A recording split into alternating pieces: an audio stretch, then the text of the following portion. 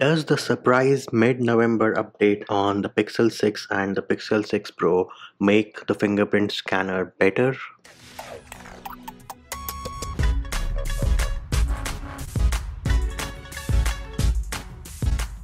Hey peeps, what's up? Munchy here, back with another video and Google rolled out a surprise update for the Pixel 6 and the Pixel 6 Pro and this one is ending in the build number as 037. Now why are we calling this a surprise update? We are calling this a surprise update because Pixels generally get their updates or the security patches at the beginning of the month and if I remember correctly it is the first Monday of the month is when the updates are rolled out however we've gotten something of what we are calling the mid-November update because it is in the middle of the month and the bill number ends in 037 now there is no official change log from Google, but the Verizon website mentions that they have improved the fingerprint scanner. So, does this update actually improve your fingerprint scanner? Well,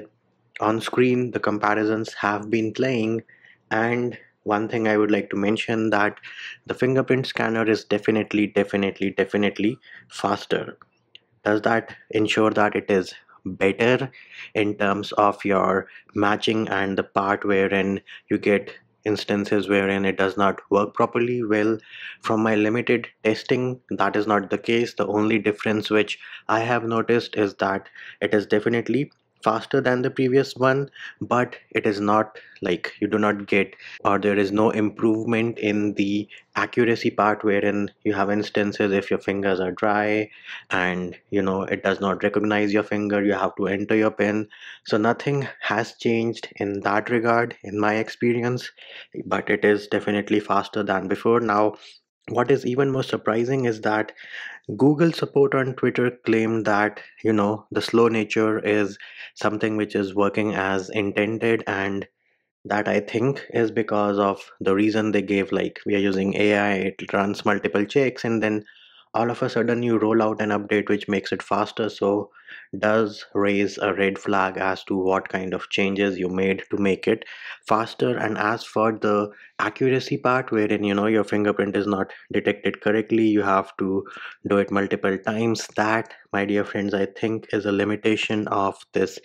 optical fingerprint on display scanner which we have on the Pixel 6 and the Pixel 6 Pro because to be very honest Google cheaped out and instead of using the latest ultrasonic fingerprint scanners which are any day better than this optical one there is only so much you can fix with software when the hardware itself is slow or it has a limitation. So again you might notice that it is faster but do not get your hopes high that you know the accuracy has improved or the irritating part wherein you have to scan your finger multiple times that has somehow magically been fixed by google. Again in my humble opinion my personal opinion that is a limitation of the hardware which is the optical fingerprint scanner they are using on the pixel 6 and the pixel 6 pro